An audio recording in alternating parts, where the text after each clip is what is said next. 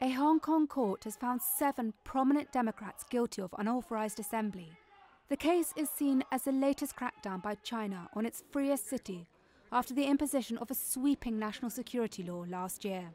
The 82 year old barrister Martin Lee and media tycoon Jimmy Lai were among the defendants.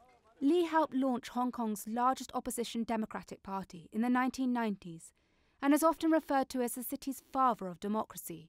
Another defendant, pro democracy activist Lee Cheuk Yan, spoke to reporters outside the court.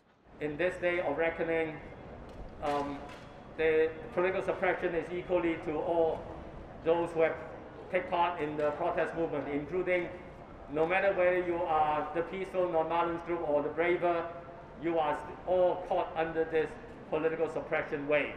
The court case relates to a peaceful demonstration held on August the 18th in 2019, which grew into an unauthorized march as numbers swelled into the hundreds of thousands. During the trial, defense lawyers argued that freedom of assembly is a constitutional right in Hong Kong. But the district court judge said that that right was not absolute and argued that restrictions are imposed to preserve public safety and order. Sentencing will come later, with some legal experts expecting jail terms of 12 to 18 months. The maximum possible sentence is five years.